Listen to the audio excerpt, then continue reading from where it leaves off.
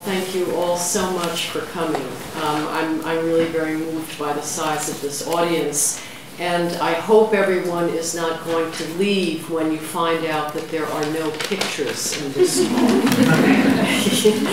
it's, it's just a talk, and uh, I hope to generate some discussion about it afterwards. Um, the talk was actually um, planned for last year because you all uh, had the centennial anniversary of the women's suffrage movement in, in Norway last year. And, and this, is, this is really fantastic. This happened uh, seven years before the analogous uh, anniversary in the, in the United States. And so I thought it might be a good opportunity to kind of think about um, in a critical way what the women's movement has and has not achieved since this important uh, juncture point. So I'm, I'm going to reflect in broad generalizations um, in order to give you a sense of how the big picture looks to me. Uh, my generalizations are based on a very large database of reading and uh, 66 years of collecting data from various things that happen. Um, but I don't think that scholars of the women's movement will find very much to quarrel with in, in what I have to say here. Um, the generalizations do not take account of ways in which there are deviations and counterexamples, uh, but I think it's useful to paint the big picture in broad strokes, uh, just so that we get a sense of what the big picture looks like. Uh, I'm also going to speak from the perspective of an American heterosexual woman, because that's the territory that I know best. And I'm not going to presume to speak for lesbians or gays or transgendered individuals. I'm going to trust those individuals to speak for themselves. So this is a very personal and uh, subjective uh, view of these matters, but I hope it will find some resonance here. During the Second World War, Euro-ethnic women in developed countries entered the workplace in large numbers to replace the men who had vacated their homes and jobs to go to war. This generation of women experienced not only the burdens and responsibilities of being sole providers for their families, but also the freedom, autonomy, and self-confidence of discovering that they were fully capable of meeting the challenges presented by every sort of work formerly reserved for men, from industrial hard labor to running a business. After the war was over, soldiers returning home sought to reestablish their traditional social roles as breadwinners, heads of families, and authority figures in all areas of public life. They staged a massive and persistent campaign of domestication to persuade their women to return to their traditional roles as housewives and to stay there.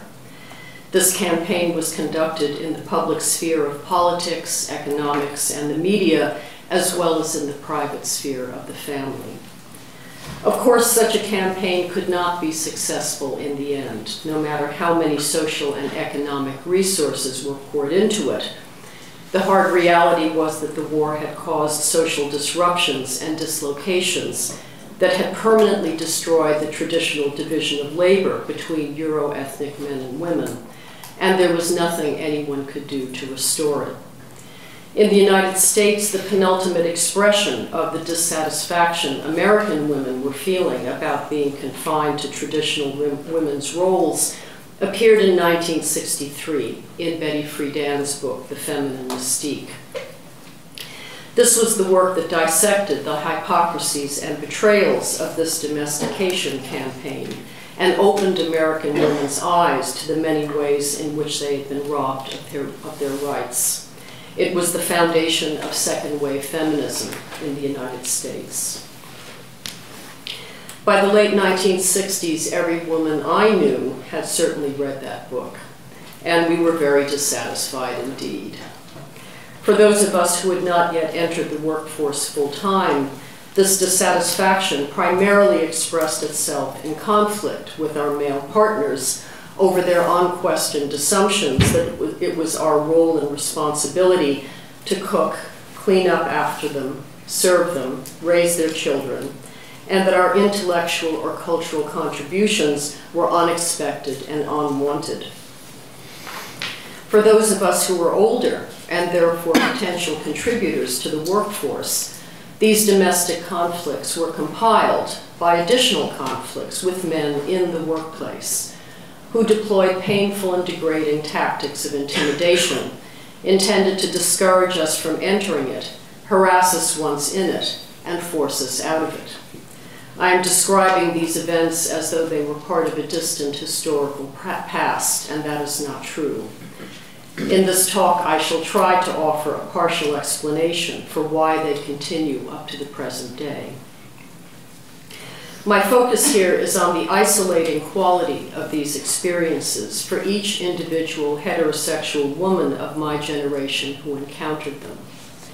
Each one of us had been encouraged to look up to our men, to think of our partners, male friends, colleagues, and co-workers as the most important presences in our lives. We had been conditioned to orient ourselves towards seeking the social rewards that expressed their approval and acceptance of us. These social rewards ranged from sexual attraction to stable and loving intimate relationships to acceptance into valued social circles to the rewards of status, wealth, and property, to male friendship and support in every area of our lives. We obtained these rewards to the extent that we succeeded in fulfilling the traditional female roles our men offered us. Correspondingly, our adolescent and post-adolescent relationships with other girls and women were primarily anchored in a shared obsession with these rewards. We spent a great deal of time exchanging tactics for achieving them hairstyles, makeup, fashion, parties, social dancing, as we called it in those days, flirting, popularity contests, etc. And we confided in one another about our successes and failures at doing so. The friendships and cliques we formed among ourselves were at best only secondarily concerned with independent personal achievement or intellectual and creative self-discovery, if at all. These bonds could be, on the one hand, deep and lasting, based on shared history, experience, and environment. Yet, on the other hand, they depended for their longevity on abstracting the friendship from the reality that virtually everything we were sharing and learning was tacitly understood to serve our attempts to establish ourselves in relation to men, to be popular, to attract boyfriends, to go steady, to look as much as possible like Sandra Dee. Raise your hand if you know who Sandra Dee is. hey! right! right! These often warm and close relationships were fully compatible with mistrust. They were at bottom competitive and remained so if they survived adolescence at all. So the dilemma we confronted was doubly isolating.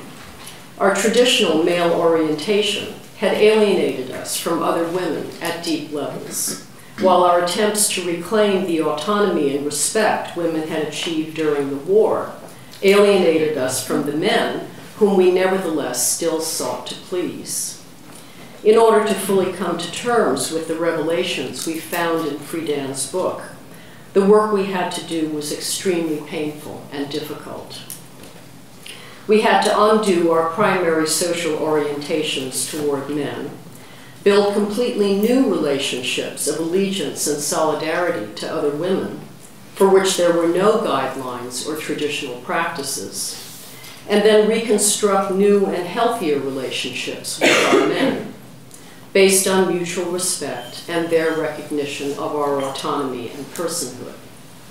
Concretely, this meant, for example, confronting and resisting our male partners each time they behaved disrespectfully toward us, each time they minimized our achievements, or complained about our failing to cook for them, or disparaged our intellectual or creative work, or ignored or ridiculed us when in the company of other men, or reacted hostilely to suggestions about sharing the housework, or ignored our, our distress. That is virtually all the time. It felt to everyone concerned like 24 7 warfare all over again. I think it is safe to say that our male partners didn't know what hit them. After all, they were only doing what they had been taught and told to do by their fathers, their male peers, other male authority figures, and the media. There was no context, no frame of reference within which they could make sense of our rage. And it was part of their social conditioning to disregard our attempts to educate them about this. None of them would have been caught dead reading The Feminine Mystique. This was completely out of the question. and they would have instantly destroyed their own credibility within the community of men if they had. One result of this willed ignorance was that whereas each woman who had read the book knew that there were thousands of other women who shared her perceptions, each man who had not believed that the problems he was suddenly encountering with his partner were local and specific to that particular woman. That is, that she had simply gone crazy. Naturally, women experience this male reaction as a deliberate, selfish, and ultimately malevolent attempt to undermine the credibility of their complaints. But that interpretation was wrong.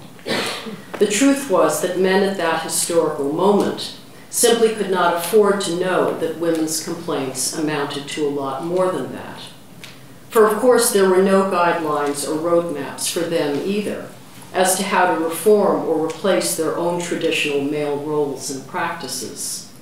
And they simply could not afford to take any suggestions about this from us. Basically, we women were demanding of our men that they give up being everything they rightly perceived as having attracted us to them in the first place without offering them any realistic substitute or compensation in return. The result was to be expected proliferating conflicts, fights, violence, breakups, ugly divorces, infidelity, betrayal, the hunt for new, younger, and more compliant trophy wives, fathers' attempts to restage the campaign of domestication with their daughters, or to forge stable power alliances within the family against the onslaught of feminist wives. The divisions that appeared between men and women of my generation were very deep, and they were lasting. Our daughters and sons have inherited these wounds, and they are still in need of healing. Then there was the work we women needed to do with one another. Friedan's book provided the data that validated our perceptions that being girlfriends, wives, and mothers was not enough and that we needed autonomy and fulfilling work in order to be complete. But it provided no clear direction for moving past the traditional female relationships to one another that instilled and reinforced those traditional female roles. After all, there was certainly no logical incompatibility between working full time on the one hand and on the other, doing all the housework, raising the children single-handedly, and entertaining one's husband's colleagues.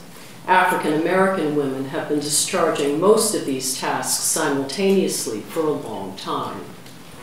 So there was similarly no logical incompatibility between battling men in order to obtain equal pay for equal work on the one hand, and on the other, continuing to reinforce traditionally competitive female roles and practices among ourselves. In the gender wars of the late 1960s, we had begun to demolish our traditional dependence on men without having already prepared an alternative foundation of support among women. Here it is instructive to compare women's socialization with men's.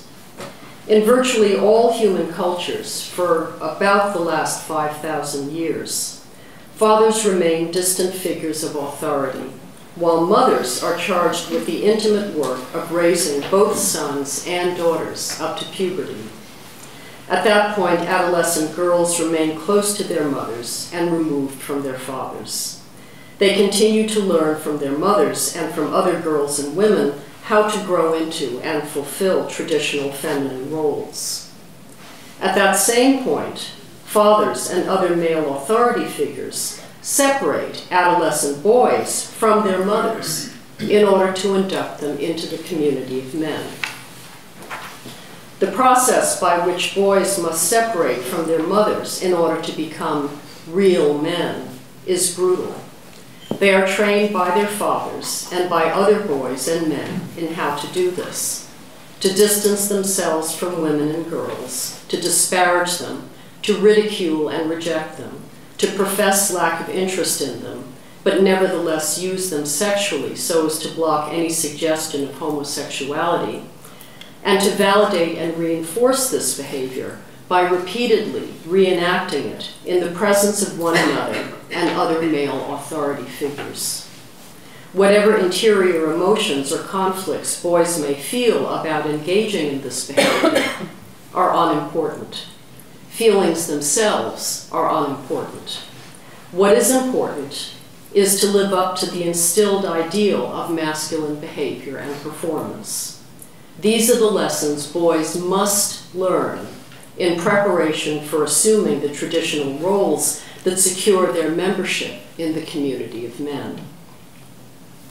The specifics of these lessons vary from culture to culture, but what they all have in common is the demand imposed upon adolescent boys for a necessary and unconditional rejection of the feminine and the maternal in themselves. Boys who undergo and successfully acquit themselves in these coming of age rituals must negate or suppress what they have imbibed up to that point from the pervasive presence of the mothers and women who raised them in order to receive acknowledgement and acceptance by their male peers as real men. They must recondition themselves and one another in accordance with an ideal of character and conduct that they must be taught and compelled upon pain of punishment, retaliation, and ostracism to adopt. So my claim here is that boys don't have a choice about this. It's a very painful process. It is not necessary for me to review here the vast catalog of pain, brutality, and psychic damage that this traumatic socialization inflicts upon men. This has been more than ably researched and documented by psychologists, sociologists, and anthropologists. Of interest for my analysis is the character of the community it forces men to construct among themselves. Some feminists have argued that this community is an unnatural one because it must negate a primal maternal bond in order to exist. Others have depicted the community of men as the essence of patriarchy because it requires the devaluation of women in order to exist. But I have not seen sufficient analysis of this community as the constructed expression of a shared experience of pain, loss, and grief that men are forced to inflict upon themselves and one another in order to cement their membership in it. Particular communities of men determine the specific rituals, gauntlets, and tests that constitute this experience in accordance with the particulars of their circumstances. These tests may include, for example, killing and skinning a tiger, or wrestling a bear, or breaking in a horse, or shooting a man from an enemy gang, tribe, or community, or gang raping or beating a woman or being brutally beaten oneself by one's own gang, or being taunted or burned or cut or bullied or abandoned in a forest or desert to die. The variations are endless, and the details for my purposes here are irrelevant. Of significance are the following characteristics of these male initiation rituals. First, they are artificially constructed. There is no natural or biological necessity about inflicting or undergoing punitive tests of masculinity, and other dominant male primates do not subject their pubescent males to these tests. Second, these rituals are agonizingly painful.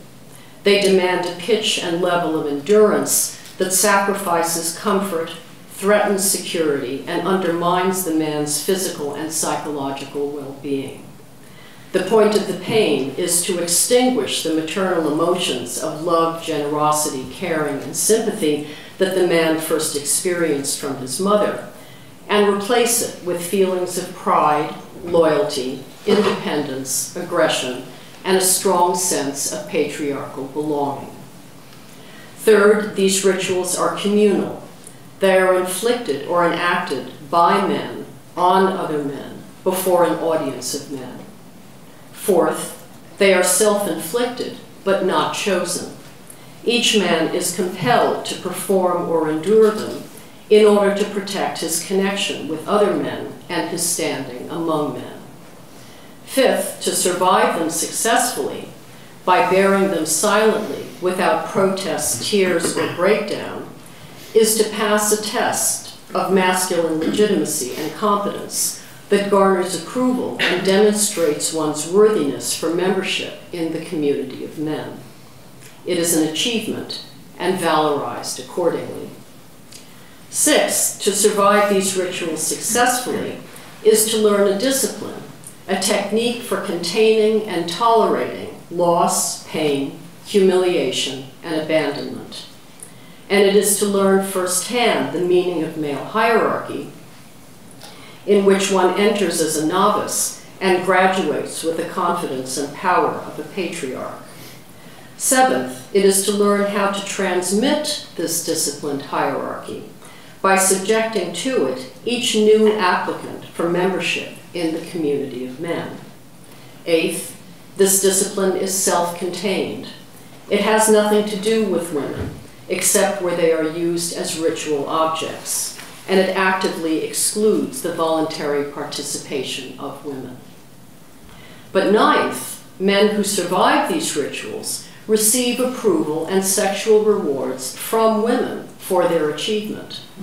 Women comply in reinforcing the value of these rituals through their glorification and adoration of the real men who demonstrate this by keeping their women at a distance emotionally but in intimate contact physically. This balancing act is not possible for any man who is unable to view the women in his immediate environment as objects to be used. The objectification itself provides the distance required in order to prevent emotional intimacy. And emotional intimacy must be prevented in order to protect the independence from maternal and feminine connection that the man has endured so much in order to achieve. Those men who have successfully achieved this mix of distance, objectification, and manipulation of women are the ones to whom many women tend to be attracted. First, because it presents the challenge of reestablishing the emotional connection which the man's socialization has clearly destroyed. But second, because these are the men who, because their own status within the community of men is most secure, offer women the most secure status as their consorts. The archetype of the distant father, uninvolved in child rearing or family life, reifies the distancing mechanism that protects the independence of male identity in the initiation rites of puberty. Because becoming a real man is very costly in these ways. It gains value in the eyes of those men who manage to pay the costs, as well as in the eyes of the women who watch them from the sidelines.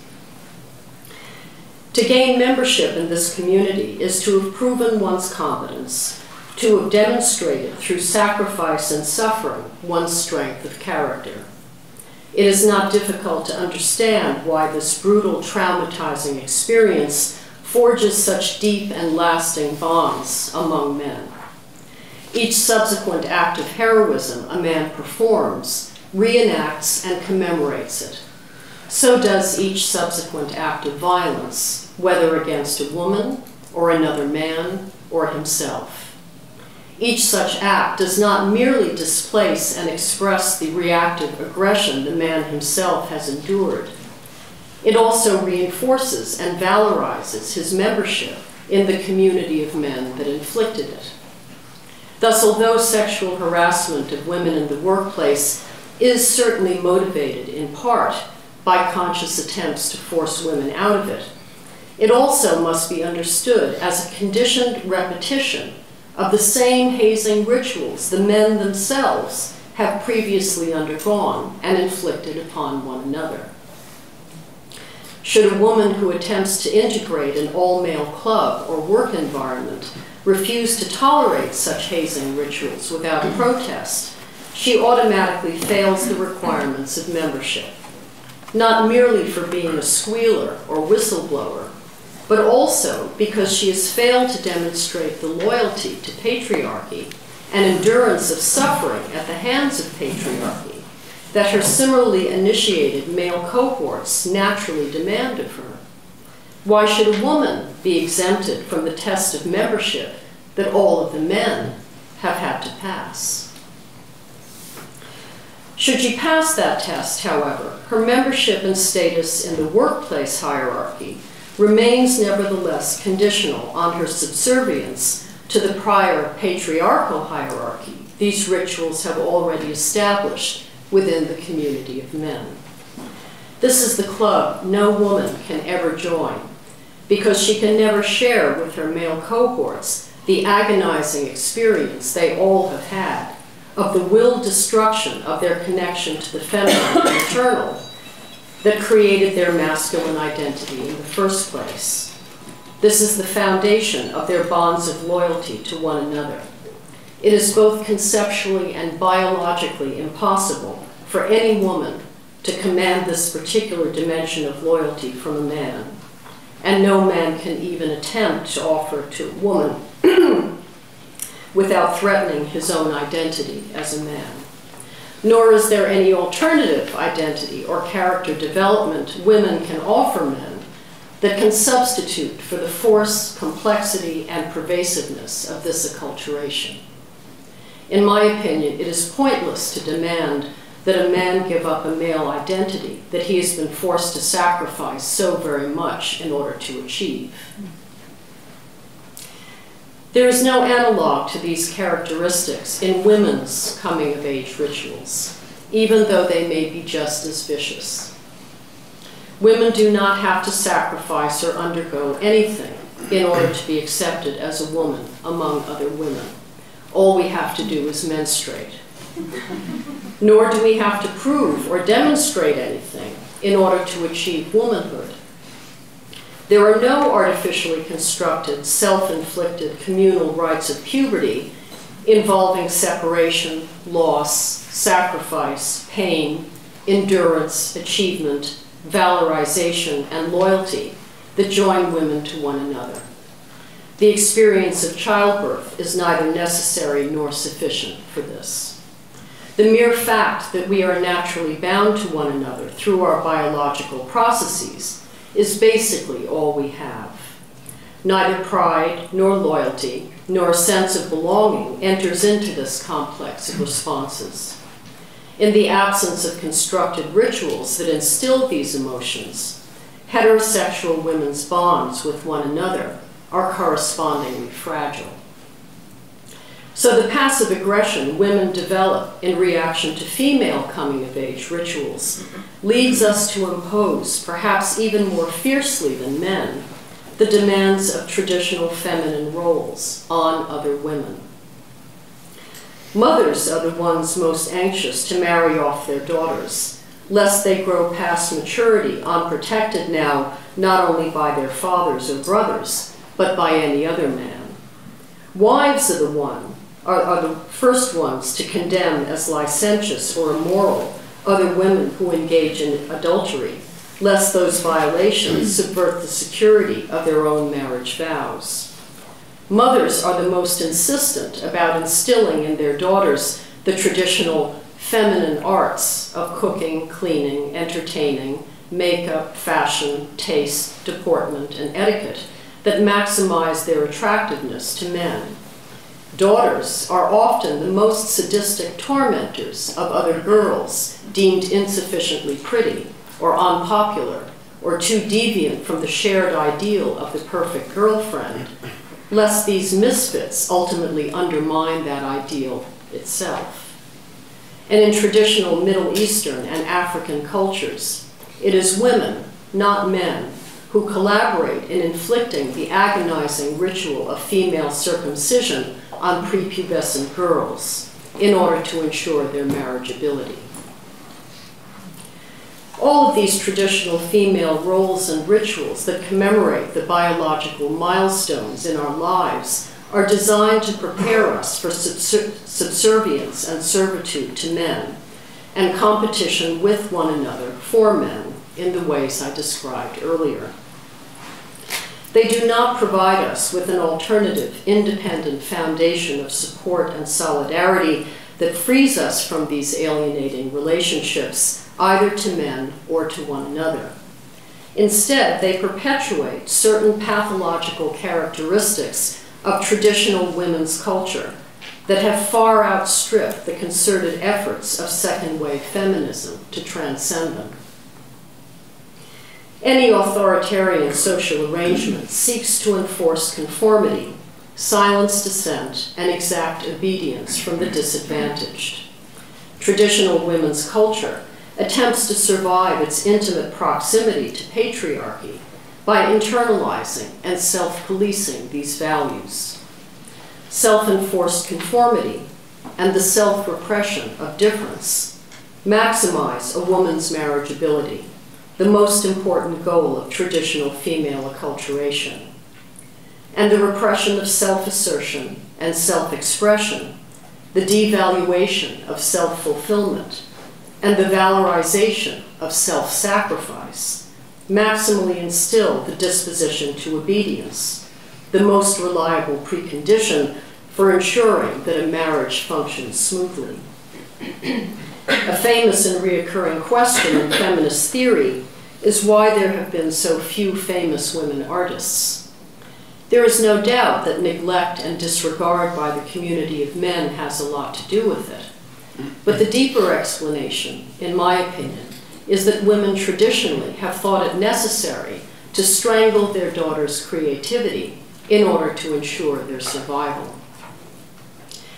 But even these adaptive tactics do not always work if the devaluation of women is thorough and pervasive enough.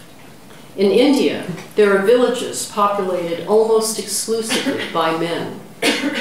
Their mothers have died at a relatively young age. The other women have disappeared, having been either murdered or sold into forced prostitution at birth by their families. So the men overpopulate the other villages to which they travel in search of wives to service their homes whose dowries can finance their subsistence. As there are also not enough women to go around in those other villages, Polyandry has become a settled convention in some of them. A woman might marry not only the man whom her family has paid to marry her, but also one or more of his brothers or friends. Because her dowry is probably insufficient to financially support all of them, she may be beaten or killed in turn, or punished by having acid thrown in her face, while one or more of her husbands continue their search for new wives with more ample dowries. Under these circumstances, silent invisibility, conformity, indistinguishability from any other serviceable woman, and unconditional self-sacrifice are a woman's best tactics for survival. But they by no means guarantee it. For when faced with a choice between women's survival and men's extinction, these men choose their own extinction. The traditional cultures of Euro-ethnic women in developed countries have evolved additional pathological characteristics in reaction to their more affluent circumstances. In the United States, Euro-ethnic women are influenced by a pervasive ideology that sanctifies Christian ideals of selfless moral perfection and idealizes upper, upper middle class Euro-ethnic heterosexual women as symbols of moral purity and protected sexual innocence. In our national culture, this ideology is manifested in the media and fashion industry ideal of the thin, rich, pampered, protected, blonde, upper middle class, heterosexual child woman. This ideal is used to sell commodities by convincing women that they will achieve it and men that they will obtain it by buying the newest improved product of whatever kind. American women's acceptance of this ideal is manifested in perfectionism in the performance of their social roles, balanced by a sense of inadequacy and inferiority generated by the failure, the necessary failure, to live up to them.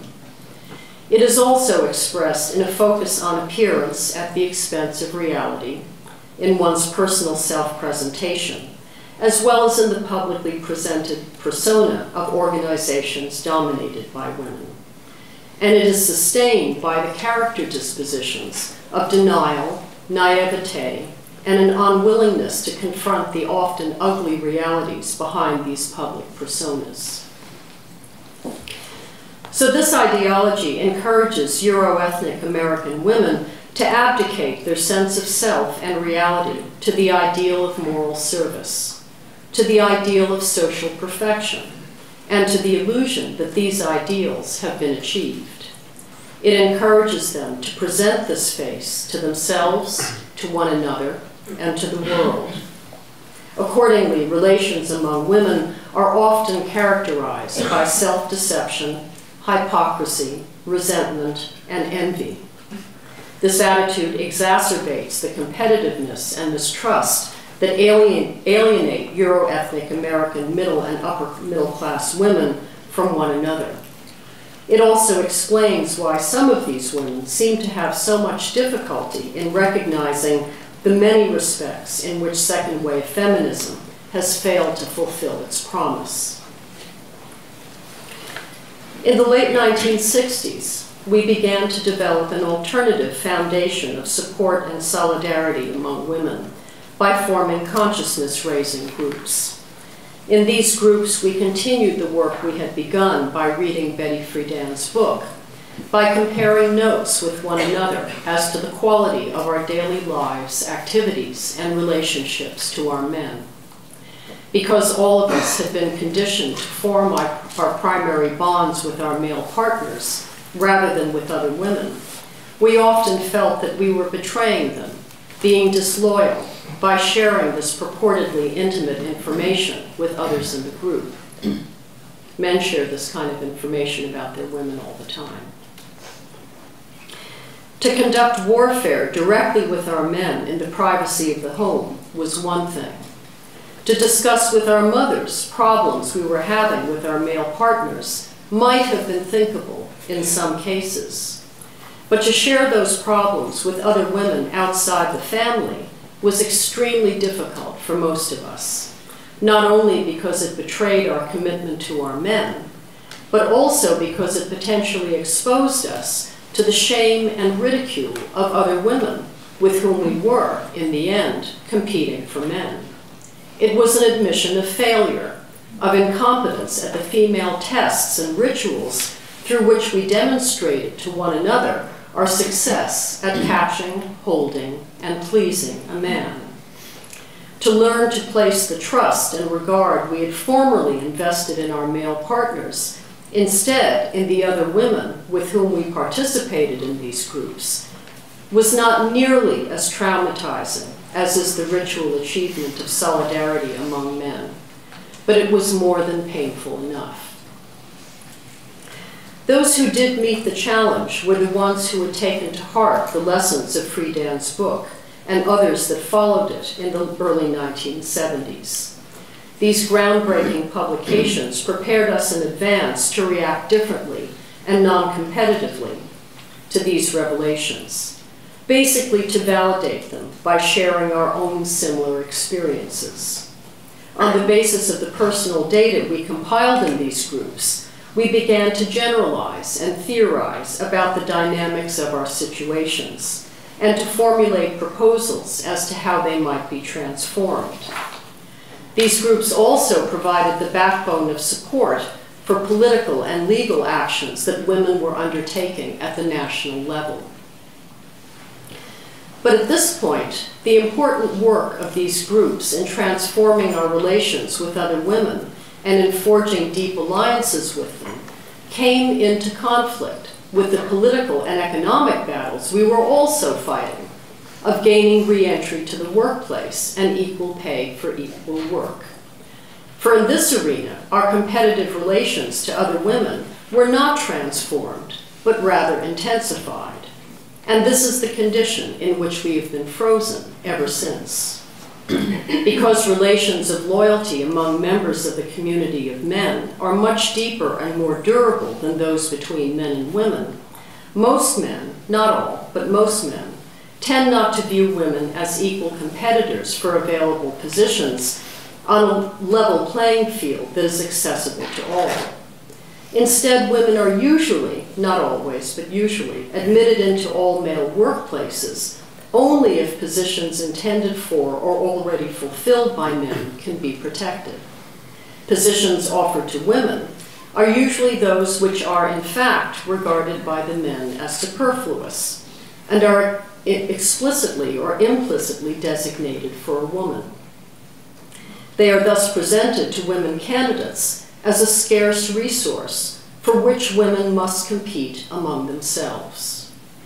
Whereas we used to compete with one another for men, now we are competing with one another for token positions reserved for women by men. Some feminist theorists believe that second wave feminism, founded in the 1980s on the pornography wars, which divided feminists who prioritized sexual and artistic freedom from those who prioritized the battle to end violence against women. Again, I believe this explanation to be incomplete.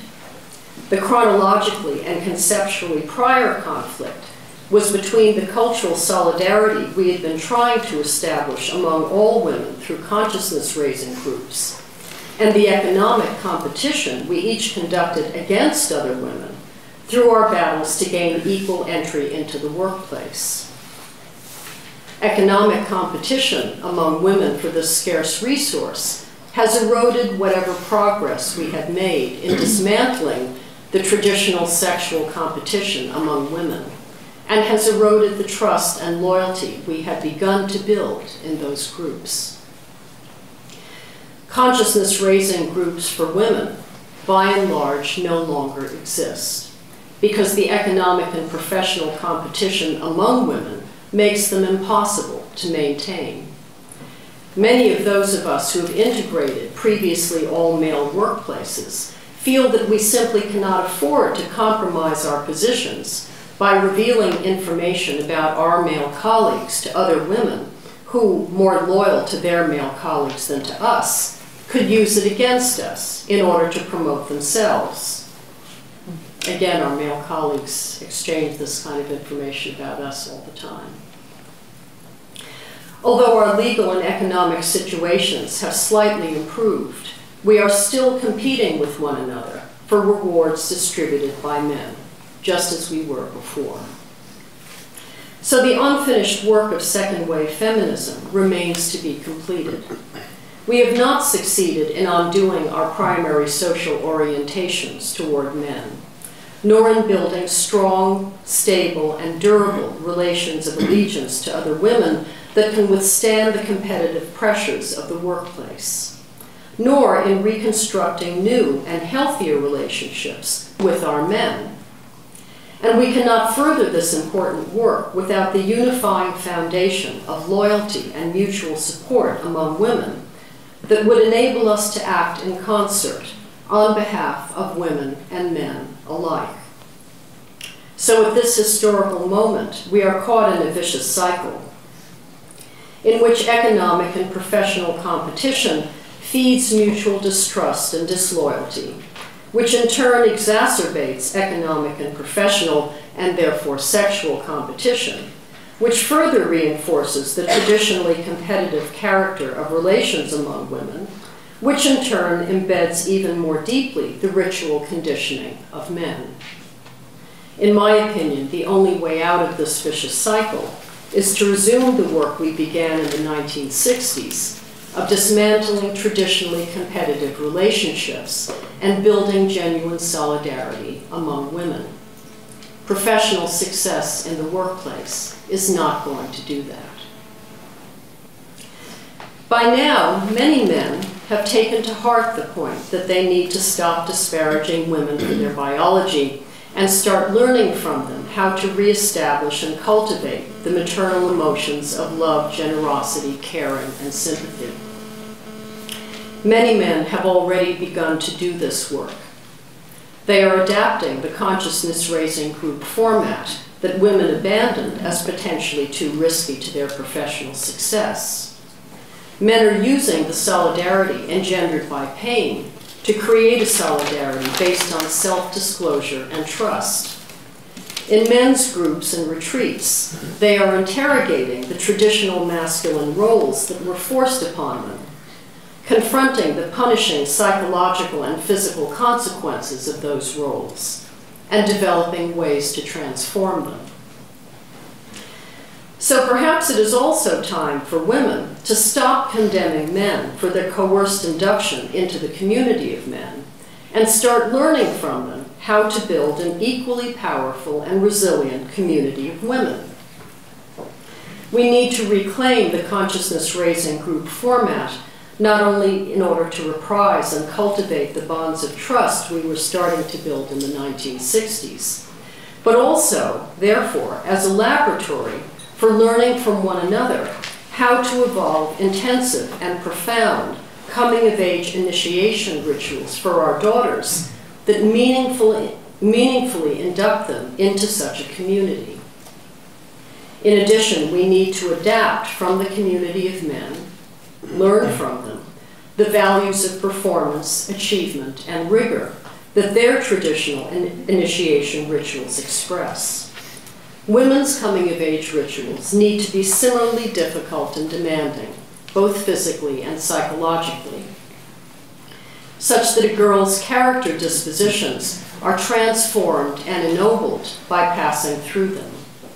They need to be communal in that they are enacted by women, for women, before an audience of women that is there to applaud each girl's successful acquittal of them. They need to be self-inflicted, but not chosen, inexorably transmitted from one woman to another and one generation of women to the next as a necessary precondition of protecting a valued connection with other women and one's standing in the community of women. They need to constitute a stringent test of feminine legitimacy and competence that, when passed, constitutes an achievement of which girls have reason to be proud, and that demonstrates and valorizes their worthiness for membership in the community of women. These rituals need to constitute a discipline, a technique for containing and tolerating loss, pain, humiliation, and abandonment, with dignity, grace, and resourcefulness. A discipline that we can teach each new candidate for membership in the community of women who must endure them.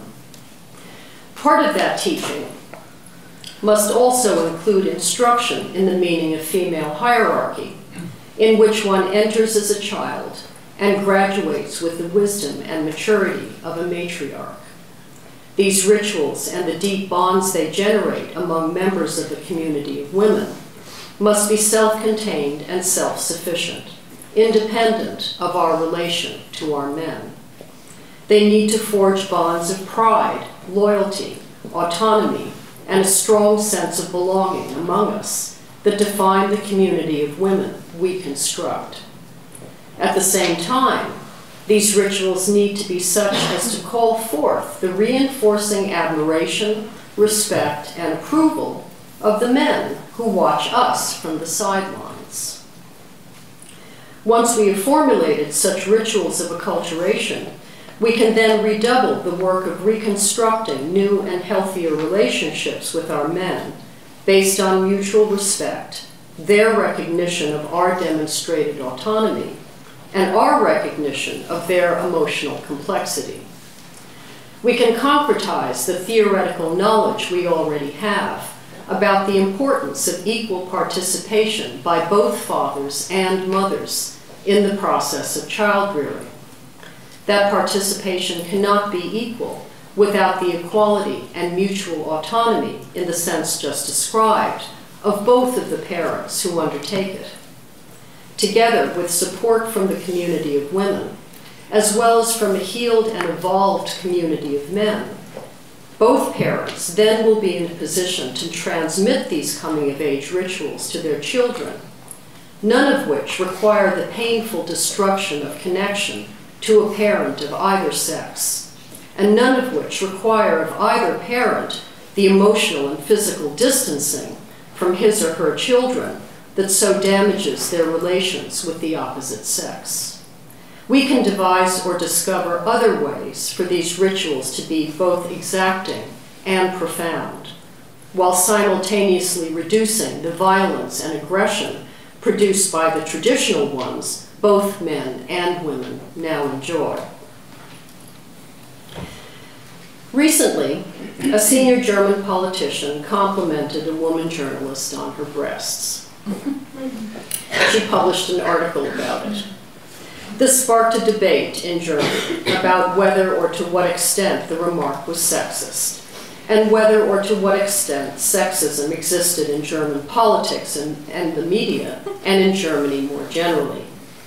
Many men think the politician was too senior for his admittedly salacious comment to have caused such a commotion. Actually, he was only three years older than me.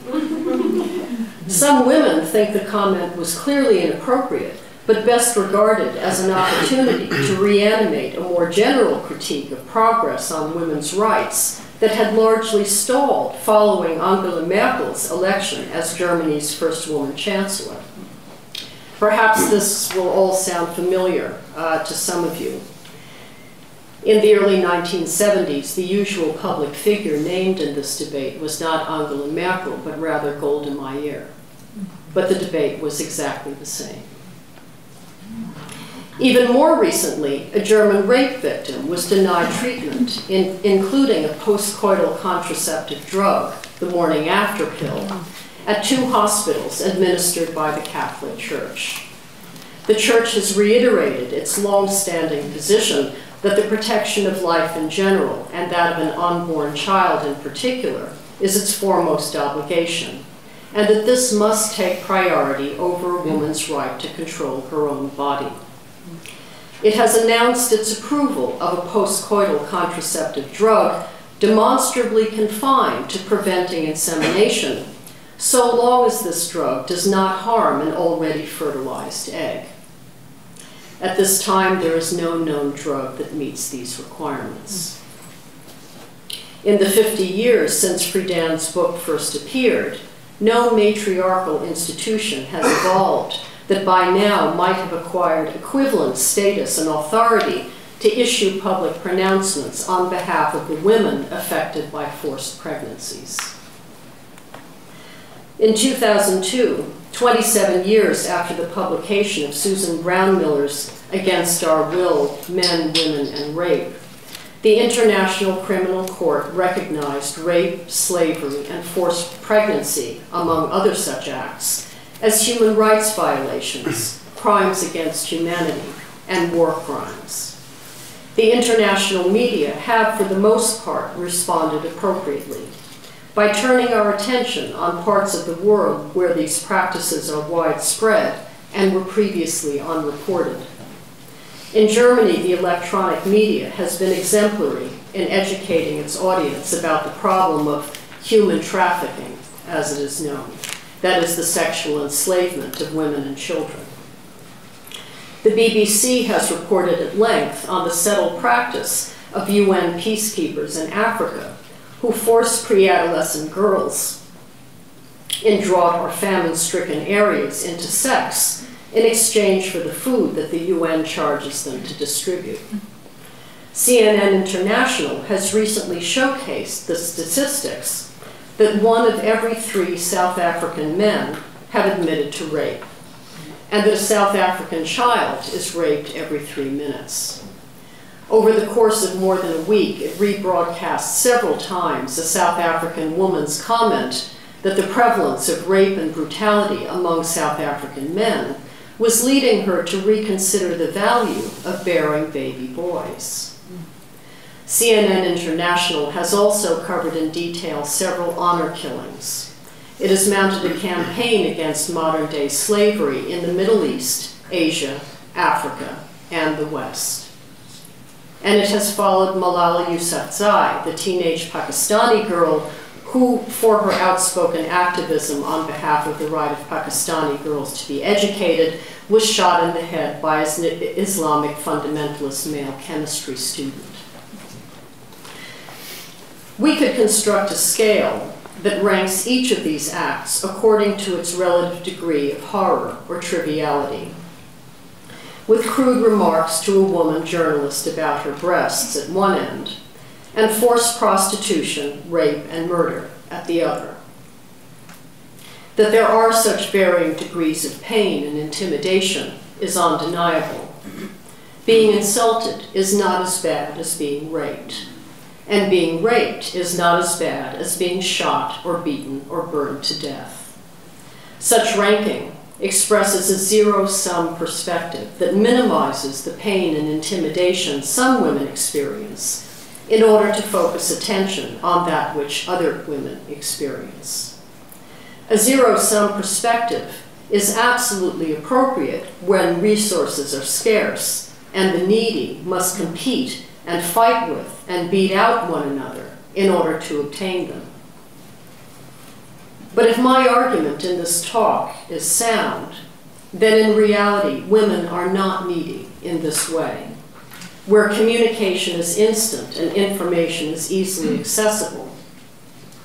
Neither attention nor the wherewithal to effect reform is a scarce resource. And women do not need to compete with and fight with and beat out one another in order to obtain them. The reason is simple.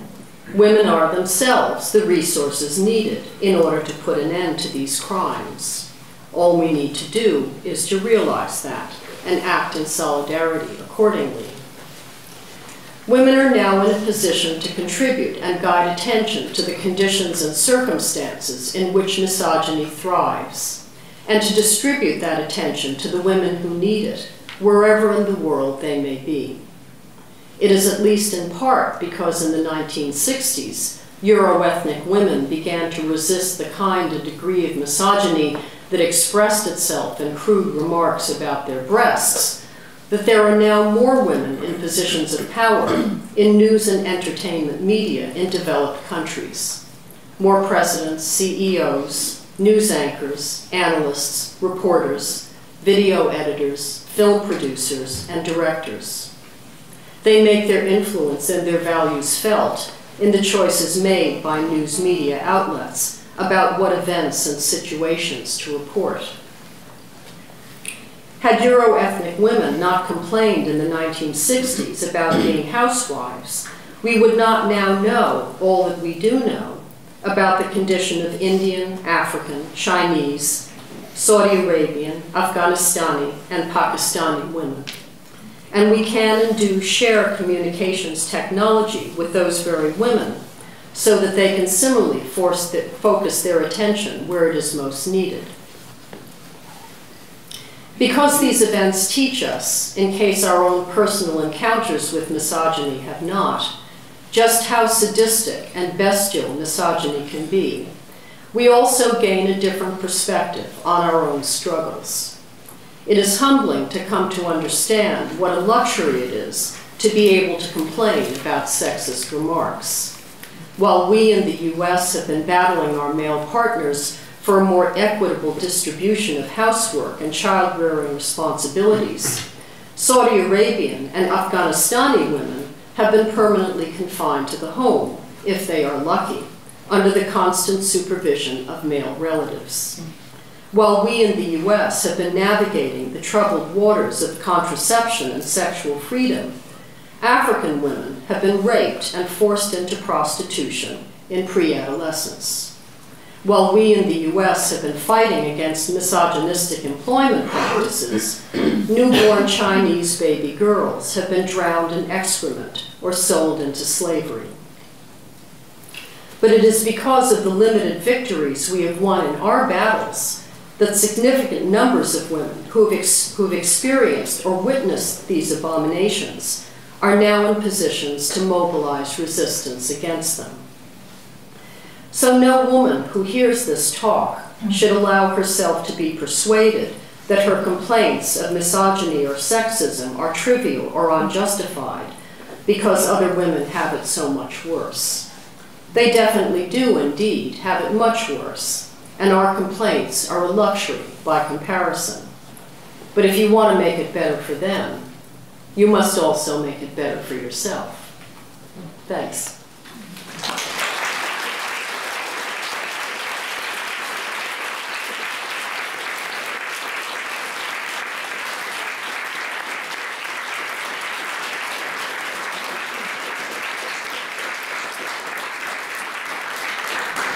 happy to take questions.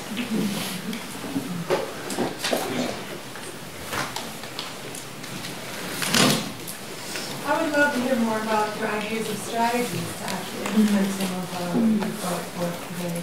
Right, thanks. Um, I'm happy to, you'll have to stop me. um, um, th this, this talk is actually part of a longer paper in which I try to spell out, spell out these things at some length. Um, well, first of all, you know, we have to do a lot of reading. There's a huge amount of scholarship on these issues, and we have to get together in groups and read and discuss and ground those readings and discussions in our own personal experience and compare notes. Um, I guess my personal feeling is that we need to learn more about women's socialization to, to correct some rather difficult biases that we have. Um, the one that really stands out for me is the fact that at puberty, women do not undergo these separation rituals that men undergo. You know, for men, it's really horrible. And for women, it's less horrible.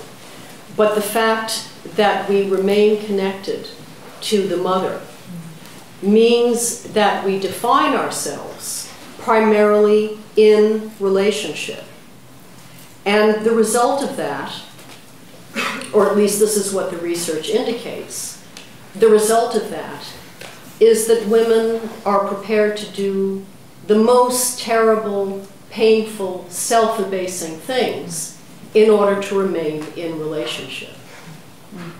So the very first thing that women have to do is to learn to be alone. People need to do retreats. They need to develop a meditation practice. I was just nagging the class I was teaching this week about this very fact. You need a meditation practice. Um, you need to spend time camping.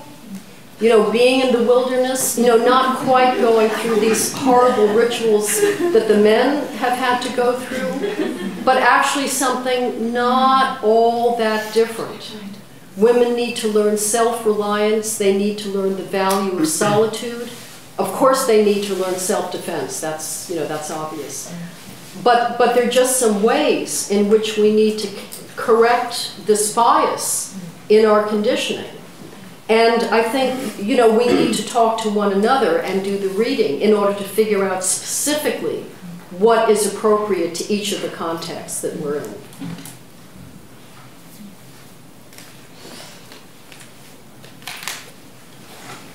Yeah.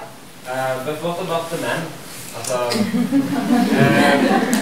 uh, men kind of have to be feminists too if uh, if there's not going to be just uh, sex uh, struggle. Right, right.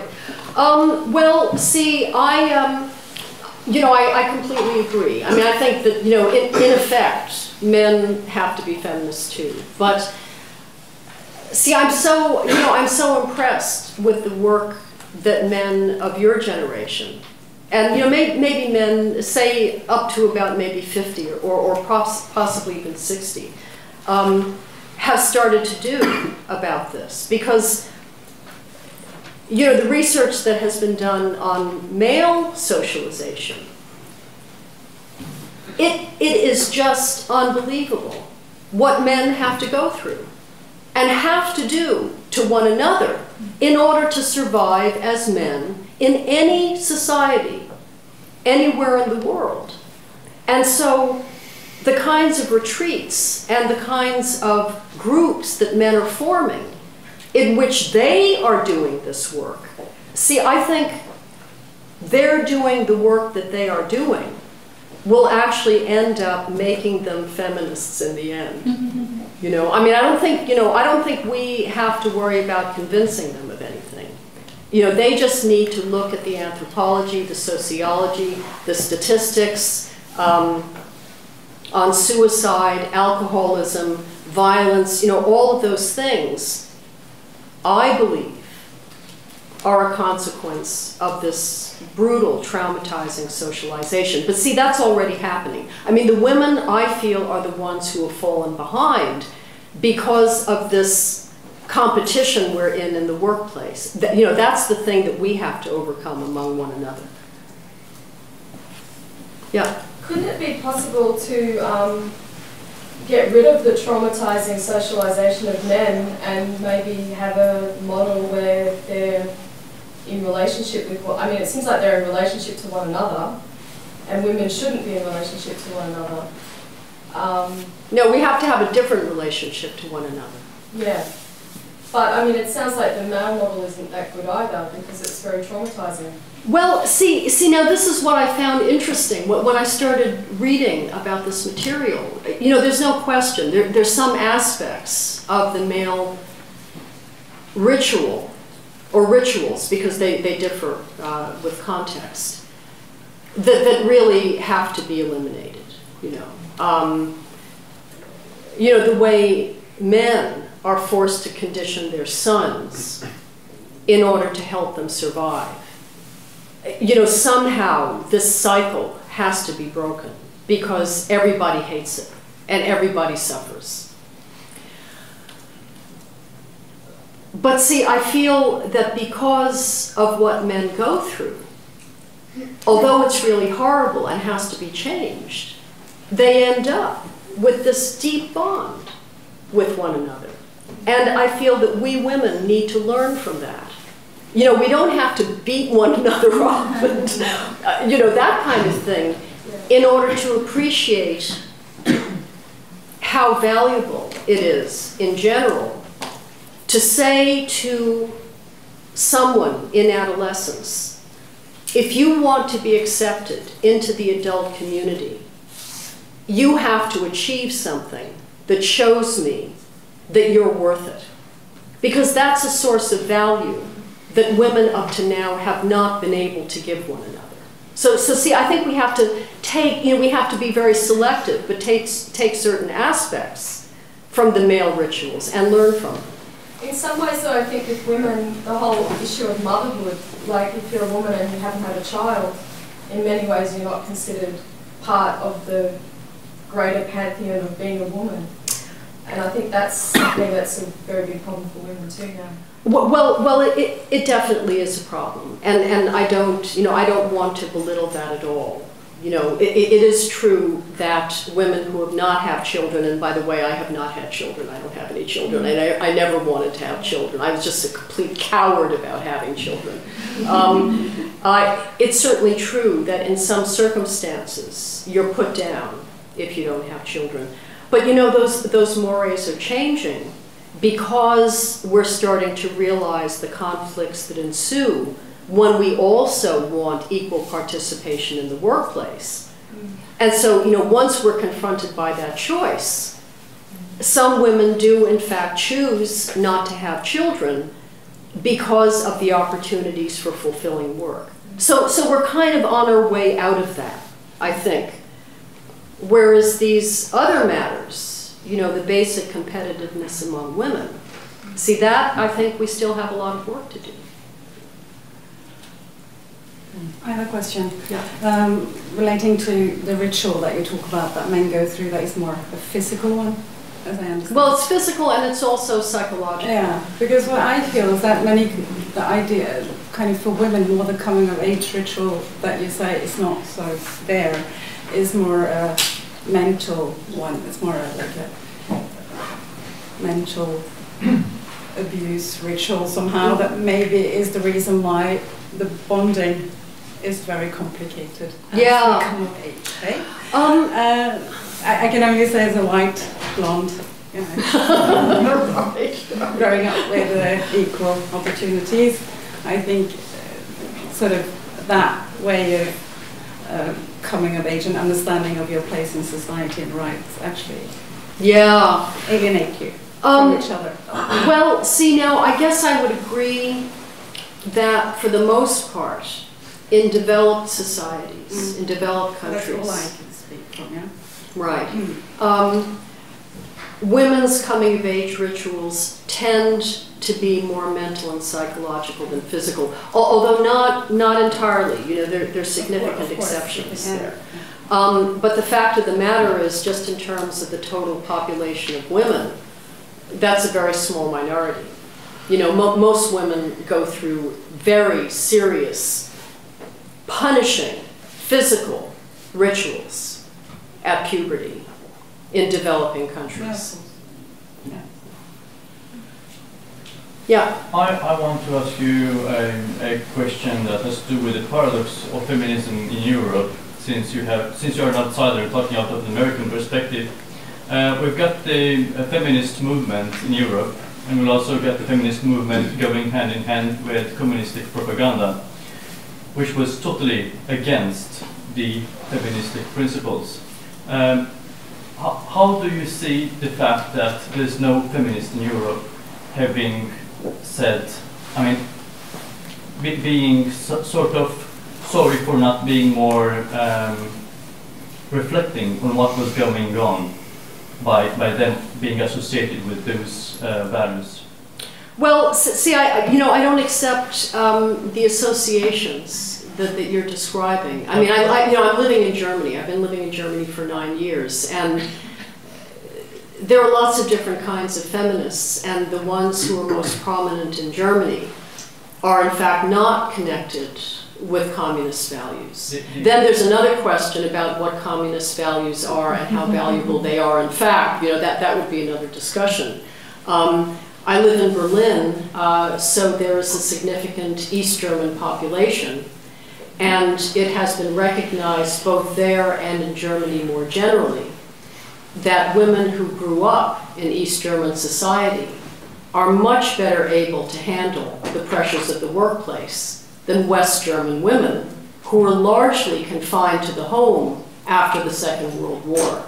That's just a fact. Yeah, I've been referring to the Norwegian feminists, um, and their pioneers are explicitly uh, communist, and they're very proud of that. And that has happened at the same time when in the Eastern Europe, uh, the communists would abolish abortion and other uh, women's rights. Well, see, again, your generalizations are too broad. I mean, number one, I don't know anything about Norwegian feminism, so I can't speak to the situation here. Number two, the term feminist, the, the term communist, has turned into a buzzword. And it means different things to different people, and mostly it seems that the function of words like this is to make people really angry. So I want to see the context, I want to see the texts that are being referred to in which that word is used. I want to know more about the specifics of positions that people take who call themselves communists. And I want to know independently of what they call themselves, whether or not I agree with what they say. Thank you. Yeah.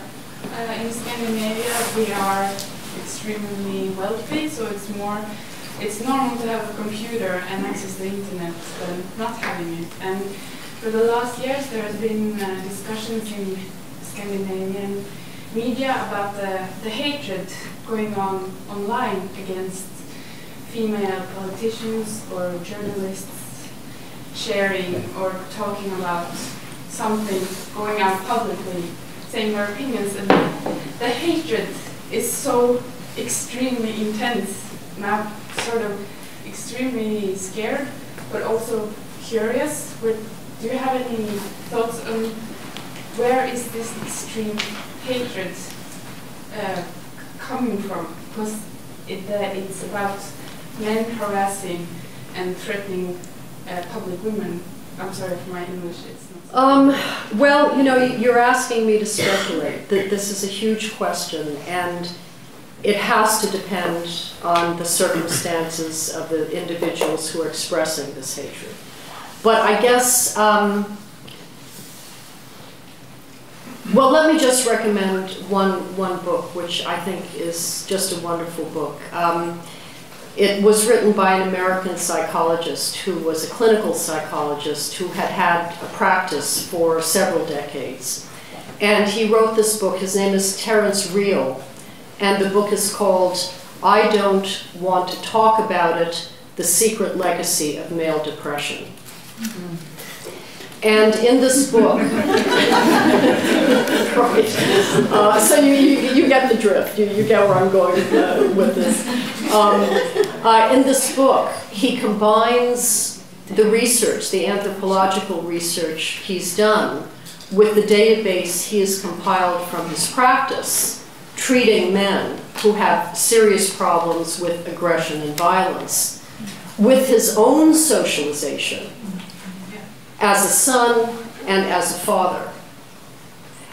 And for me, the, this book was really groundbreaking because it was the first discussion I had read that enabled me to imagine and experience concretely what men have to go through all the time.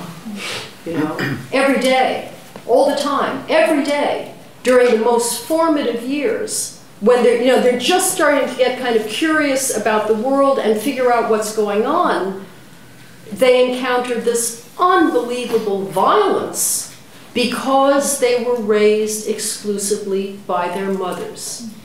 Now, there's no way that can be good for anybody, right?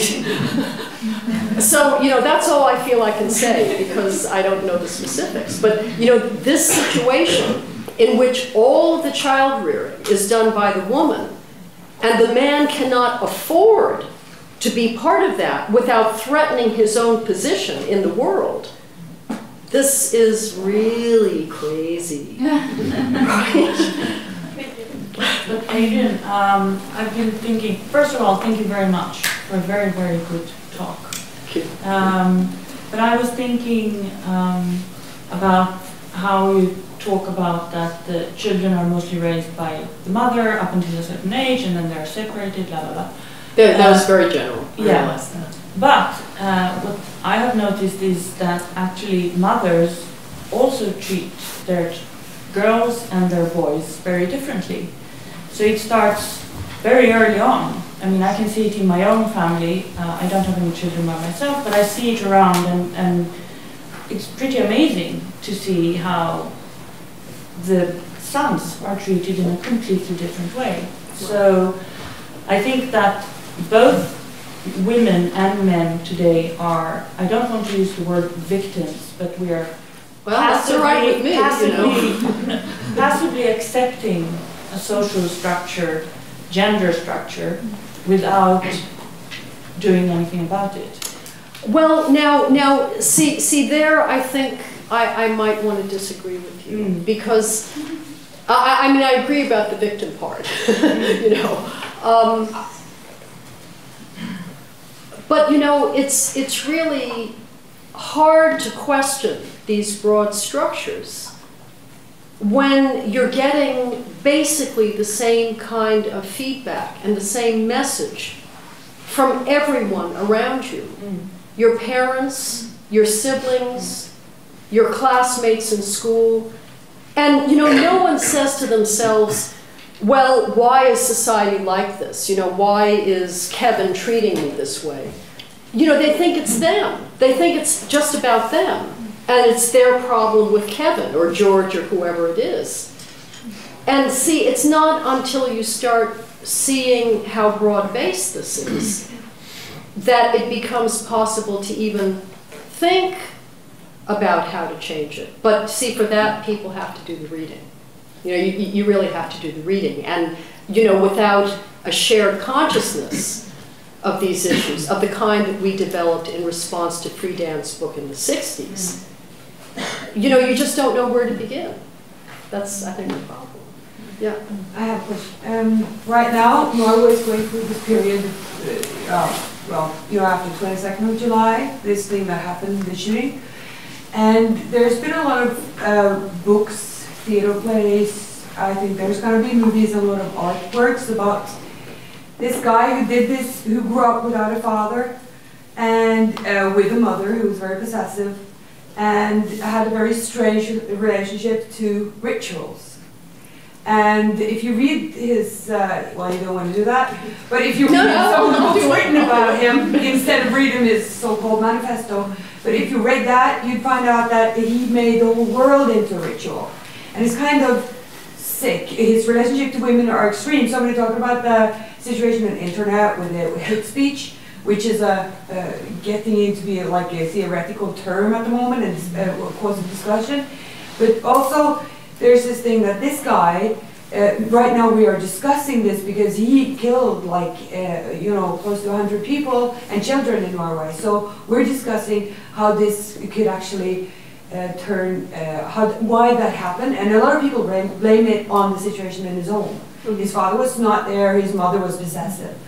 And at the same time, uh, he's, his sick relationship to rituals make me, when I read about him, like want to puke. You know, it's, it's very, it's very, it's very sickening. And I can't find that if I was going to do like put my child through rituals to, to do the same thing, it's sort of like I just see his way of doing rituals very sick. Yeah. The way that he looks at the world, which is a very West End side. So a lot of our competition is all about well having this bright kind of clothes, the right kind of friends, not having black friends is very very racist, of course. All these things that you you don't you want to take your child away from that. Yes. You don't want to give them more of that. Um, well, you don't want to give them more of that. But see, and I mean, it's so easy for me to do this from the armchair. You know, I don't have kids, so so I can just theorize at length, right? You know, I, I kind of watch all of my women friends who do have kids. I do a lot of reading, and that's it. That's my day. Um, but I mean, you know, because I don't have kids, I sort of am a kid. You know, and so I think about my own upbringing and I compare that with what I see and what I read. And it seems to me that kids really do need rituals of some kind. You know, they, they need structure. It, it has to be the right structure, the right rituals, intelligent ones, sensitive ones that help them grow, help them de- de- develop, and not stunt them. But I think. Um, once we know a lot about rituals, see, I think we might be in a position to start putting some of that into practice. See, we we have to know what a ritual is. Because he did rituals. He did the wrong day, rituals. You know? Yeah. But still, they were very specific, you know. And they're like wrong mirrored rituals of the society, what society requires. So it's sort of like uh, interpret, uh, how is that, interpret? Interpret. Yeah, interpret it in, in, in his own way. Yes. And that's, you know, we're all individuals. We'll go home and teach our kids to do something in our, our way, which is like you can't have, it's not written down how, how parents are supposed to do the ritual with their fathers. Like when you talk about rituals, you don't say specifically like in this society what it is. You, you'll, you'll say something which is worldwide and like tribes in Africa. But if you have here, what do their fathers, what's the rituals in the homes in Norway? Well, but now, now see, uh, you know, the counterexample I would point to for this was the effect of Betty Friedan's book. Okay. You know, everybody read that book. Everybody, all, all of the women I knew read that book. And once we all read it and started kind of talking about having read it, and realized how good it was to kind of talk about that book, these consciousness raising groups formed organically. And in the context of these groups, we then figured out what it was we were doing and figured out ways of transmitting this structure to other women and starting other groups of the same kind. So, so in a way, those were rituals too. You know, there, there, there's certain um, uh, there's certain precepts that these groups all observe. Number one, uh, everything is confidential. Number two, no mon Monday morning quarterbacking. No, no, not no talking about what happens in the group after the group has has has finished. Um, there are issues about how you present material, how long you can talk. You know, there are definitely ways of making sure that the discussion remains constructive, available to everyone, and participatory. And see, these are things that can be learned. These are things that can be transmitted. So I think, you know, we just have to figure out what the right rituals are that work for people and then start putting them in place. A, a kind of boring example here is uh, um, a family friend who was who uh, was raised um, uh, where uh, in a community or in a family where every children had to present a topic um, for 15 minutes at every dinner. Wow. And um, she's well, she's she's the most incredible storyteller, incredibly intelligent, both socially socially intelligent and in general, and she is yeah running her own business and doing really well and all these things. This is fantastic. No, th th this is great. I love this. Yeah, no, that's that's fantastic. What about the, because you said that female bonding is fragile, but also that women stay in their relationships. Right. So Right. that's like, that could also be a good thing. Well, see, I think it's a good thing for women to be able to have relationships and to know how to manage them and to deepen them. That's all to the good. Um, the bad part is the dependency, which makes it impossible for a woman to feel happy and whole and contented if she is not in a relationship. But could that also be applicable to friendship then? Oh, I think it's uh, applicable to every kind of relationship. Because that could be a bonding, a way of like, Absolutely, absolutely. But, but still, see, I think the bottom line is that we need to learn how to feel happy and whole and contented within ourselves, mm-hmm. whether we are in a relationship or not. Mm-hmm. And, you know, there, there are ways of doing that. That also can be taught. Hmm. Yeah. Yeah, but don't you think, or I I'm a bit curious about your relationship or views on the state? The use Because- of, On the state, on actual politics concerning these issues. For example, now we've got a new right-wing government who's taken away, uh, before they, they divided the time that you were home with your newborn. But the husband had to take quite a lot of that time and now uh, he doesn't have to do that anymore. And all, if you talk about science or research, all research say that if the man is actually together with that child, just three months or four months, he will continue doing that. And giving me the time to, you know, explore my female relationships and doing my career and, and doing, and it is politics. Uh, which I think is, and then I, my family can choose together in a more equal way if we do ritual our children, you know. Mhm. But just the uh, how is how is you uh, you talk very little about structure and politics. Yeah, no, I think, I, I, I, I think the, the impact on politics has to come from a grassroots movement that has been well established and well anchored in a practice first. Because, you know, politicians come and go, elections come and go. People do what they think will get them elected. So, so you can't rely on politics for these things. These things really have to start from the bottom up within individual relationships and networks among Yeah, people. but that law started, of course, in grassroots uh, and in individual relations. Well, then, you know, see, then I think the question is, what were these politicians responding to that made them think it was a good idea to abolish the law? You know, what, what forces in the society were they responding to? Who, who were they listening to? And who was influing, influencing the formulation of policy? You know, I mean, what is the causal chain between their abolishing this law and the place where that chain began? See, see, that's what I want to know. But I, but I would not. Um, um, I think pol- public policy actually has to be the end point.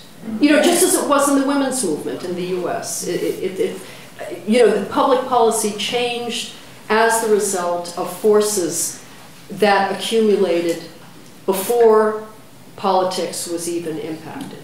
And I think the same thing has to happen here.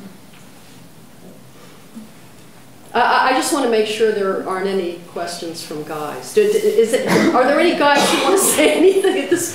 Well, now, now you've already said something, so, so I'll come back to you if no other guys want to say anything. No guys want to say anything? Really, just nothing? Really, just nothing, nothing? Okay, yes. Well, just to bring up a cliche, I mean, and what do you think about it? I think you had a wonderful talk. Uh, uh, there was often this notion that the world would become a more peaceful place if women led it. Would you like to develop on that? Uh, no.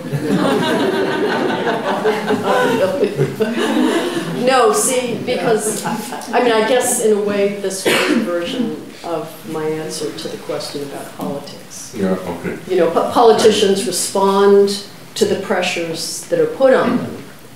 And in order for them to make the world a more peaceful place, they have to be, they have to feel pressured to do that. And so where do those pressures come from? See, so, so again, I mean, I don't think individual women leaders can make that much of a difference in the absence of this underlying anchoring network that has to be developed. Sorry. yeah. I was just thinking about the, uh, what you said, that uh, women don't have the same uh, separation uh, that men do-. But uh, it seems to me that there is a separation, and maybe not a forced one, but self-forced, in a sense that if the relationship between the daughter and the mother, if the daughter is not to fulfill the mother's aspirations, uh, then there is a separation there. But one that is uh, by choice, and then you go through the Yeah. similar things that happen, uh, uh, perhaps. Um, you know, this, this I think is, is really very complicated. I, I'm just going to try to, to untangle a little bit of this. Um, I, I do agree that when daughters fail to fulfill their mother's ideals about how they should be conditioned, there's a kind of separation that happens and a kind of self-definition that has to happen and a kind of autonomy that has to result from that that can indeed be very important for a woman. But see, it doesn't negate that underlying identification. And in my experience, women who have had this breach with their moms carry, carry this sense of conflict and this sense of disappointment and sadness for their entire lives, you know? Because, I mean, the mom is really concerned to protect the daughter's survival. And the best way for the daughter to survive is to just conform, just get married, find someone who will take care of her, you know, just basically reproduce this traditional feminine role. And if a woman decides, or a girl decides that she doesn't want to do that, I mean, naturally the mother flips out because who's going to protect her? You know? And so there's the sense of anxiety and danger on the, on the side of the mother, and the sense of resentment and anger on the side of the daughter. And, and these things don't get resolved unless there can be some meeting of the minds about what's important later on, maybe say five or ten years after the fact. But, but the, the, you know, this would not be my ideal way for establishing a sense of autonomy and separation and independence on the part of women. See, I, I'm, I'm still really for the meditation practice. I think that's- yeah, Do I get my question? you do, yes. And then there's some women here that that Uh, take same question as uh, that came uh, uh, from down there. Uh, I want to know what emphasis you will put on on relationships between between the sexes without sex and without the competition, because you're you're talking about. Um, uh, that women have to separate from from men, and and I understand that, as women you have to um, uh, struggle for power. Uh, but for men, I think it's about um, uh, getting um, um, empathy uh, towards women, and then I think. Um, uh, that kind of relationship is crucial Right. For men, but you can also say that for men. Um, yeah, I can stop there. Yeah, But yeah. You, you see where I, I could go there. I- yeah, yes, I do. And and I will also say that the the picture that you I, I know you're generalizing. I am. Uh, and I can only generalize for uh, the men population. And, and I, I have to generalize uh, in the way that I don't see the picture that you paint of men. Uh, because I see in my um, my men, um, my male friends also um, this competition for sex and for uh, yeah. Well, actually, I mean, that, that, that was part of my picture of, of male socialization, that, that, that men do continue to engage in this competition. But, but my point was that um, the competition is very often enacted as a way of proving one's membership to other men. You know, it's, it, it's not really simply competition for sex and for women. It's competition among men for a certain status within the male community. But, but, but I wanted to, to, to go back to, to your first point um, about platonic relationships. They are really, really great. They are really wonderful. And But you share my view that that's maybe crucial for not just having a ongoing battle between the sexes. Well, you know, actually, my personal uh, view inclines me to think that they are indeed crucial. But I don't, you know, I don't want to kind of put that out there in such a strong form as to say, you know, everybody has to have platonic relationships because it's different for everybody. You know, it depends on how you relate to people. It depends on how you feel about physical intimacy, how you feel about touching, you know, what it means to be next to someone physically. I mean, you know, there, there are issues that I think really resist broad generalization.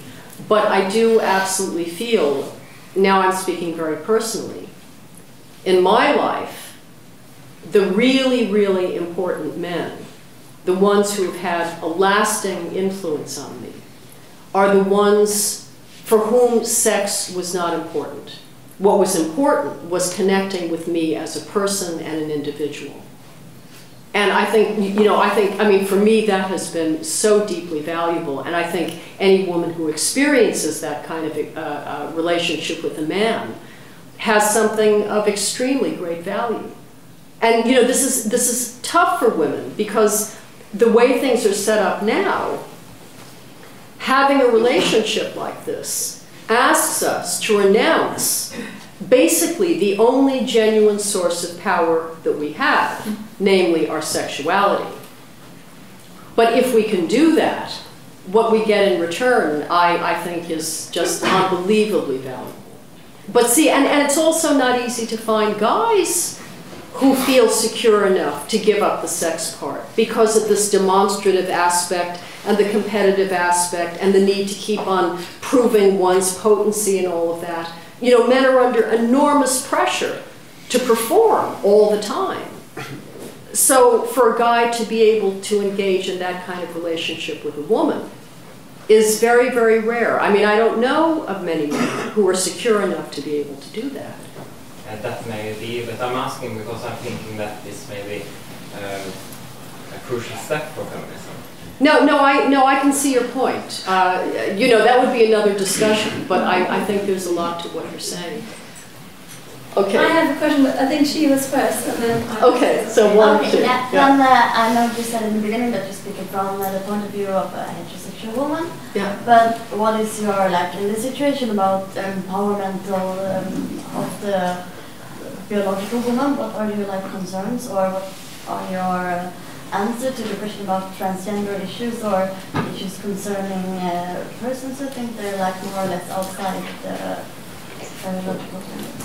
I, you- know, I think this is really just a matter of education and the relative sophistication and the flow of information as, as widely as possible. I mean, I think the more we learn about individuals who don't happen to fit into any particular gender category, the easier it's going to be to just accept the fact that there are individuals like that and there's no reason not to accept them just as we would anyone else.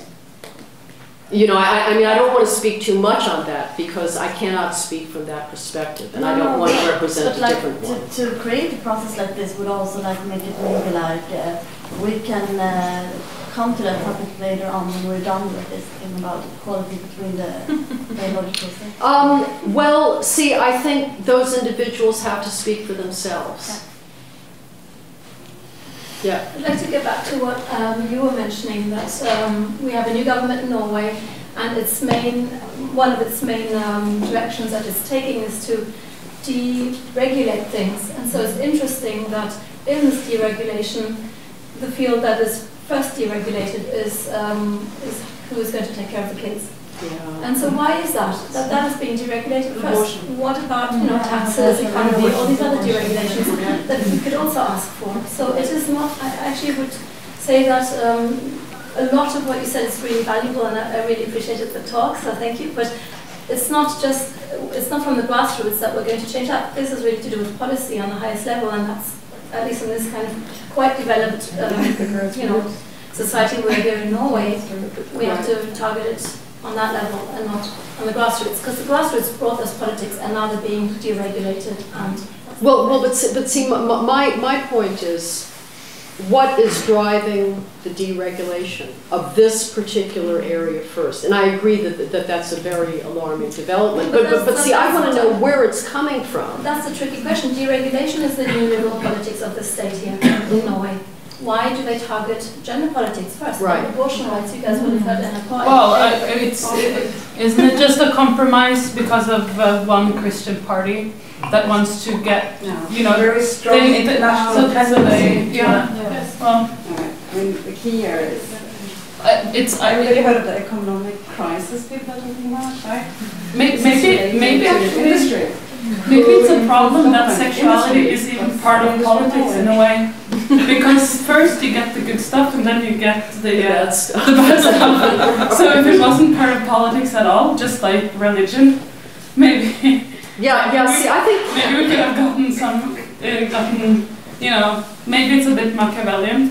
But Well, it would be good to narrow down uh, some of these policies maybe. I, I, I agree that, that sexuality is part of politics. You know, gender politics is definitely politics. But the que- my question is, how do you organize effectively I should have in order to policies, change not policies? politics. Policies. Right.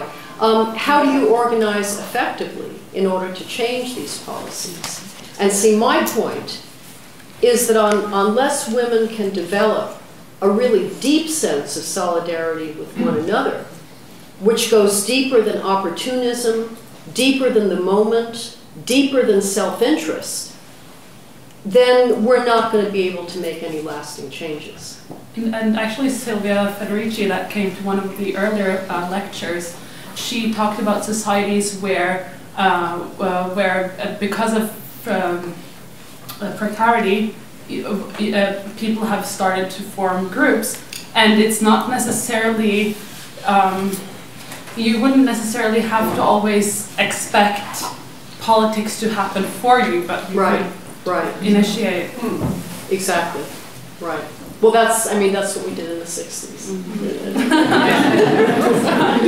It was actually really nice to hear Agnes Varda talk about the feminist movement in the 60s because she spoke of it as like trying to put on nice flower dresses and everything and keep a happy face in order to have this movement that wasn't negative and wasn't, you know, but, but then. Yeah, I but, a different perspective.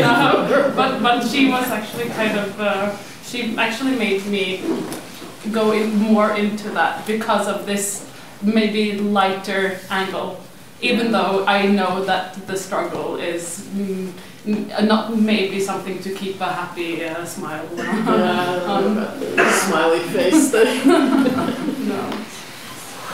But, uh, sorry, but the, these groups, if I would start an, a reading group exclusively for women here, that would be read as very separatist. I, I think it really would, like it is very exclusive. And do you think that it's possible to make these groups or these communities together with both sexes? Actually, I think right now it's not possible. I think men have work to do that they have to do among themselves, and we have work to do that we have to do among women. So then nothing has changed. Yeah. Well, see, see, see, this, is- this, is- this was my argument. This was exactly my argument. We are still at the point where we were mm-hmm. in about 1975. Mm-hmm. And we have not moved on the fundamental issues that really need reform. That's exactly my point. I feel like we've regressed, and there's a lot in America anyway, and there's a lot of apathy amongst young women to organize and to talk about feminism. They're just like, no, I don't want to do that. It's- I don't want to be a lesbian. You know, Um, like- well, you know, I mean, one of the things. especially one- immigrant populations, like Uh, I think one of the ways in which second wave feminism has failed is that we did not put in place ways of transmitting what we knew to younger women. the history. The history The history, there. you know, the history, the experience, mm-hmm. and you know, think about this. I mean, guys know how to do this, right? One generation to the next. There's certain values, certain practices that get mm-hmm. transmitted. We have not figured out how to do that, and so each new generation of women They ends up having to reinvent the wheel. Mm-hmm. Oh, I don't see the problem. I have a great relationship with my steady boyfriend. You know, you know, ten years later, they see the problem. No, but I think it's, it's, because of the word. It's because of the word. Like Chris Kraus never uses explicitly the word feminism, but it is uh, in, in her writing. I think. I mean, no, but it's true. Even You know, I know it's true, but it's possible to resist this way in which words are turned into buzzwords. You know? It only becomes a buzzword if you let it become a buzzword. And if you try to evade the buzzword in order not to be targeted. But see, Yeah, you know, if you don't get targeted in one way, you'll get targeted in like the other way. day, I was on a lecture about the uh, spiritual in literature, and of course, if the level wasn't as high as it was in their discussion, it would have become this esoterical, uninteresting New Age uh, thing. So for sure, and but then uh, the responsibility for maintaining uh, that high level um, Is might be us. changing also because of editorial responsibility changing also in, in our time. Well, see, I think uh, the responsibility is in fact with each one of us. Mhm. Yeah, yeah. And on that note.